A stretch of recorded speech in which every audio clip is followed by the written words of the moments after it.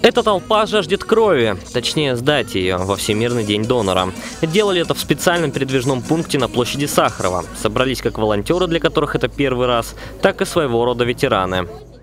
Первый раз пошли сдавать в 97 году, как э, после армии пришли, э, не знаю, как от работы, поехали вот первый раз сдавать, э, сдали, ну не знаю, потом как-то вот потихоньку, потом позвали, потом позвали, потом, ну вот потихоньку-потихоньку начал сдавать.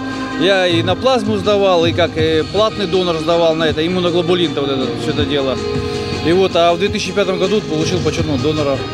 В Алтайском крае 30 тысяч доноров. Популяризировать это направление стараются всеми силами. Например, недавно в Госдуму внесли законопроект, согласно которому человек, безвозмездно сдающий кровь, будет приравниваться к волонтеру и получать те же льготы. А студенты-доноры и вовсе смогут рассчитывать на двухдневный отдых. Нуждается общество сейчас и в костном мозге.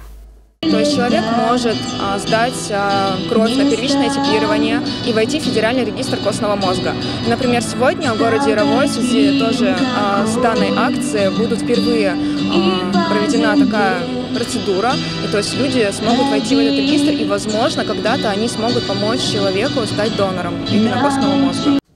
Другой законопроект, который вскоре рассмотрят в Госдуме, касается уже почетных доноров. Согласно документу, люди с этим званием смогут рассчитывать на 5% компенсацию расходов на оплату коммунальных услуг, бесплатную парковку и проезд в общественном транспорте. Данил Кузнецов, Алексей Фризин. День с толком.